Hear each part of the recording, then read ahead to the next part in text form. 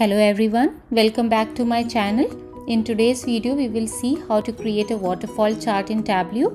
A waterfall chart is a common type of visualization wherein you can show the positive or negative effect on a certain measure across a certain axis.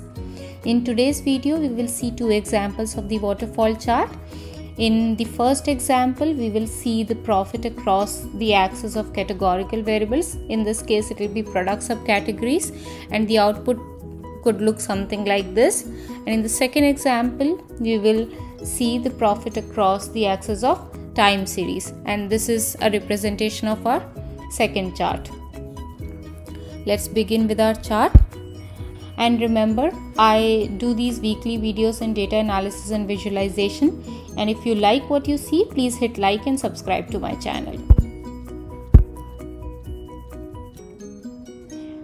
The data source we are using is sample superstore data.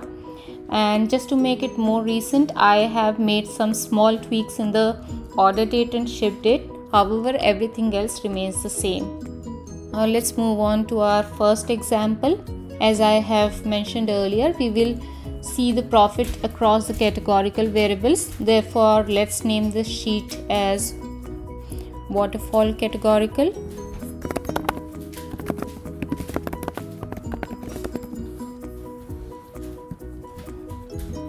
Here we will see the effect on the measure of profit across the axis of different subcategories. And in order to make it more interactive we will add year filter which can also help us understand the trends better across different years now let's begin with the waterfall chart. Drag subcategory to columns. Profit to rows. Now here we can see that uh, the bar chart is created with profit for each subcategory. Whereas in waterfall chart we would be needing the running total. To get the running total click on profit pill click on quick table calculation and select running total. Now in order to give it a shape of a waterfall chart let's convert our bar chart to Gantt chart. And move our profit pill to size. In our profit pill we'll make some editing. And we will add a minus sign in front of our profit calculation. Once we do that we can see that our waterfall chart is taking that shape. Uh, now let's add grand total to our waterfall chart. To do that click on analysis go to totals and select show row grand totals. Now the grand total bar is added to our waterfall chart. Add profit to colors. Add profit to labels. Now this is our waterfall chart which shows the prof profit or loss of each subcategory in all the years. We will add year filter which can also help us understand the trends better across different years so in order to do that let's select order date and drag it to filters. Select years click on next. As of now select all the years click ok. Go to years filter again. Select show filter. Now the year filter is added to our view now we see that the Though the company had faced losses in some of the product categories, overall the company had made a profit in all the years. We can also see further if the losses were incurred in the same category every year or was it different for different years. Let's see.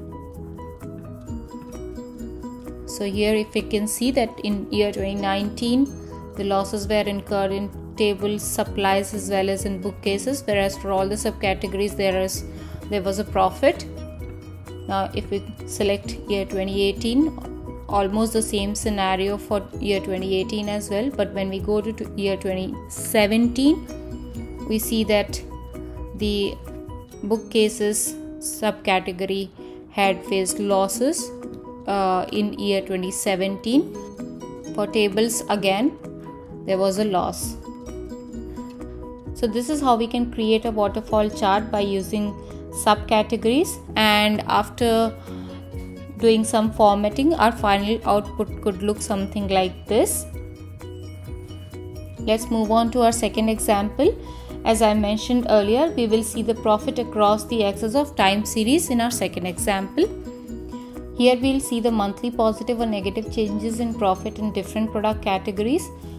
To create a second chart we will duplicate our existing sheet and make some small changes into it because most of the calculations would remain the same. So let's duplicate the sheet and let's rename it as waterfall time series.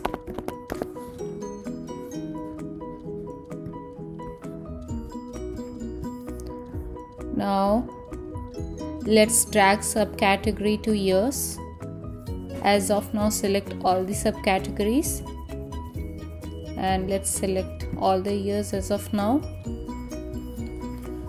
Drag order date to columns. Convert it into continuous month. Go to subcategory filter. Select show filter. And for subcategory to make it easy to understand and to analyze better let's convert it into single value list. So here if we select a category for example if i select maybe bookcases and compare its profit performance by different months in different year let's say for example i compare its performance with 2018 and in 2018 and 2019 we can see that uh, for certain months there was a profit in a category and for certain months there was a loss. And for example if we see that in june 2018 and june july 2018 there was a profit again we see the same trend is followed in the next year and for the same months that is June and July. So, in the end, we can see that just by making some small tweaks in our charts, we can identify different trends. And these charts can not only help in creating better visualization but can help us dig deeper into the data without going through the cumbersome process of reading through the whole data. And waterfall chart is one such representation. And by making some formatting changes this is how our final representation should look like. Hope you find this video helpful. Let me know your thoughts or any questions that you have in the comment section below. And if you like this video please don't forget to hit like share and subscribe. And i'll see you in my next video. Thank you. Bye bye